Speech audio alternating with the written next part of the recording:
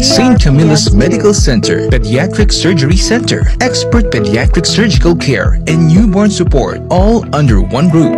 Pediatric Surgeons, Dr. Edwin C. Castillo, Dr. Raymond Valerie C. Solivan, Neonatologists, Dr. Wally Mark C. C., Dr. Catherine R. Luistro, Dr. Maria Leonora S. Villaruz, Pediatric Intensivists, Dr. Ricky D. Katapang, and Dr. Angelica A. Bermentilia, Pediatric Cardiologist, Dr. Lorilyn G. Mandigma, Pediatric Pulmonologists, Dr. Paul Lindy A. Navarro, and Dr. Dina H. De Castro.